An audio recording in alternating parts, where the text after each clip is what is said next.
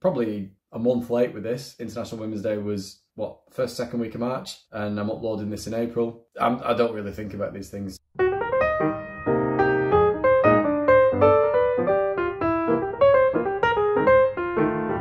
Hello, I've not uploaded a video in a while, and that's because it takes a lot of time to put together the big pieces that I do on our garage wall, and it's time that I just don't have at the minute our little lad is on the move constantly. Takes a bit more looking after than he did when he was uh, a little baby that, that couldn't move and slept most of the day.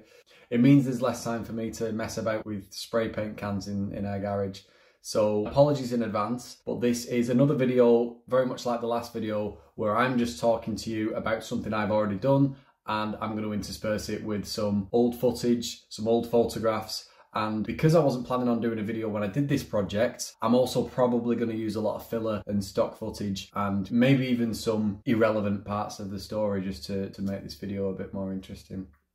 So what is this video about? This video is about the time I made a really, really big mosaic of Manchester's very own Emmeline Pankhurst and sailed is the wrong word because it's not a sailing boat. Presented it, let's just say, and presented it on a canal boat on the waterways of Manchester and Salford. It was for a work project. It was to celebrate International Women's Day. For those of you who don't know, Emmeline Pankhurst was a suffragette who was instrumental in getting women the vote just over 100 years ago. And she was from Moss Side in Manchester. And she's very, very well known and loved in this part of the world and indeed all over the world. And I thought, who better to celebrate on International Women's Day. I believe it was International Women's Day. Let me just do some maths. It would have been International Women's Day 2019. So this was just over three years ago because we've just had International Women's Day, I believe. So I was working for an electrical engineering company at the time. We were going through a change in some of the brochures and collaterals, and we had a lot that we were just going to get rid of. They were they had irrelevant information, irrelevant branding, and you know they were destined for the dustbin. So what I thought was, you know, let's let's try and do a bit of recycling. Let's try and not waste all this stuff. And I thought International Women's Day was an opportunity to do that. So with my inclination towards doing silly art stuff, I thought, why don't we take these brochures, rip them up, and make a mosaic of Emmeline Pankhurst? And that's what I did. So my wife was really happy because I basically commandeered her conservatory for, I don't know, two months while I made this giant mosaic out of hundreds of brochures, cutting them up, categorizing them into different shades. I made it black and white just to make it easier for myself. But also, and this is a company I definitely will shout out, I'm sure, you know, they'll be happy to be advertised in front of the 24 people that are going to see this video. So I got in touch with a company that I've known for years and years and years, a family run business that I have been a patron of for decades, City Centre Cruises. They're a company here in Manchester who do what they say on the tin. They do cruises in the city centre on a number of canal boats. They do lunch tours, they'll, they'll do tours of the waterway, tours of Salford Quays, Manchester Bridgewater Canal, things like that. And, you know, nice and peaceful. Uh, as I say, there's a restaurant on it, nice and peaceful movement along the serve you food. There's a bar on there as well. And the reason that I've been a patron of them for so long is that they do the trip from Manchester City Centre to Old Trafford to the Manchester United home matches. So whenever I go to Old Trafford, which is often because I've got a season ticket, I go on the City Centre Cruises boat. And the name of the boat and why they are significant to this video, the newest and biggest boat is Emmeline Pankhurst. The other one's named after L.S. Lowry, but this one's named after Emmeline Pankhurst. So I got in touch with them and I said, look, I'm making this mosaic of Emmeline Pankhurst. Are you interested in getting involved? I would like to put it on your boat and just drive it around the waterways of Manchester, see if we can get anyone to uh, notice it. Got the ITV and BBC studios in Salford Quays. I thought, you know, if I drop them a line and then circle the boat with the mosaic outside the studios, someone might see it, might get a bit of exposure. Didn't happen in the end. Cheers BBC and ITV, but it was a bit of fun. And thanks again for City Centre Cruises for getting involved in that and involved in my stupid idea. And also another people I want I want to shout out for this video, my friends Aaron and Andrew. I don't think they're still operating at the minute. They may do in the future. I don't know, but they they had a, a company called Alpine Creative and they did some really good videos for local businesses and stuff. They got involved, filmed the whole thing. I'm going to use some of the really good professionally shot footage to spruce up this video a bit.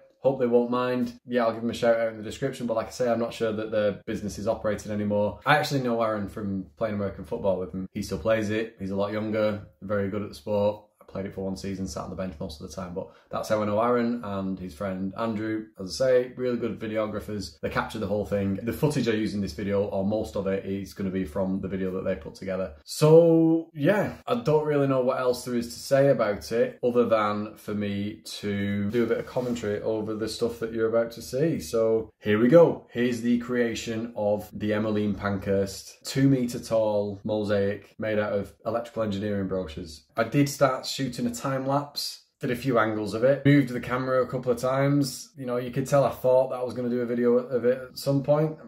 Uh, you know, it's it's it's doesn't really lend itself to being an interesting video, but yeah, look, I, there was obviously a big period of time between this clip and that clip.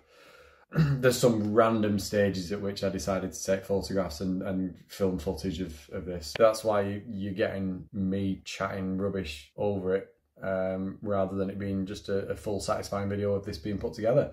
So as I say, we took it out, we showcased it in Manchester, and then no one really paid any attention. But so I'm here on the Emmeline Pankhurst boat. We've just got through Pomona Lock, and we're about to. So yeah, we're uh, we're here to celebrate Manchester as well.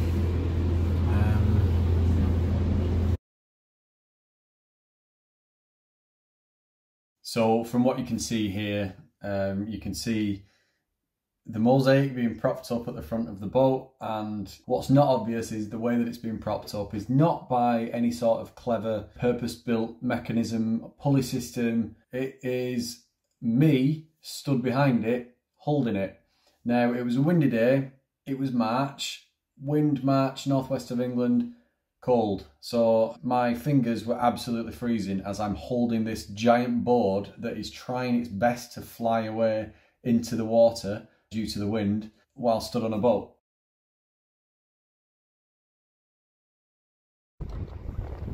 So I'm currently behind this mosaic.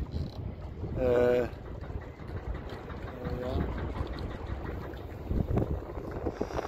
My hands are freezing. And here is me, posing very proudly with the Emmeline Pankhurst mosaic made out of brochures. I think there's a particular amount of pride on my face here because this is after we'd done the presentation of the mosaic on the boat. So I'm proud and relieved because we got away with it and nothing went in the water. The mosaic didn't go in the water and I didn't go in the water. So it was a win-win. Yeah, as I say, it was a lot of fun. And I could not tell you where that mosaic is now. I didn't throw it away. I no longer work for that company.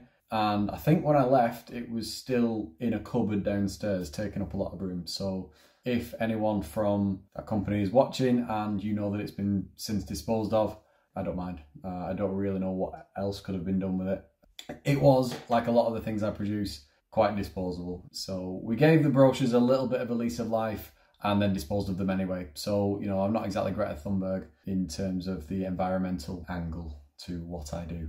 You know, I never thought I'd be doing an International Women's Day thing in Salford Quays, but I did. So, girl power was a lot of fun. But yeah, now there's a video about it on my YouTube channel. So that's my video on the Emmeline Pankhurst mosaic that I made. Probably a month late with this. International Women's Day was what first second week of March, and I'm uploading this in April. I'm, I do not really think about these things. Yeah, Tell me what you think. Like, share and subscribe and all that. I don't know why you'd share this. Please like it. Please subscribe. I am planning on doing some some actual original new pieces of art. I need to clear out the garage first. I need to find time, more importantly, to get in there and, and get spray painting. But there are I have got a few ideas. Hopefully we'll get them done over the next couple of months. So stay tuned. And yeah, I appreciate that people uh, subscribe to me. Not that many, but you know, enough to feel like I, I should I should still keep putting videos out. So I'm going to keep putting videos out. I've got a few more of these stories that I want to tell, but more importantly, I've got a few projects be released over the next next few months, really. So yeah, thank you, and thanks for watching this, and listen to me rabbit on. Yeah,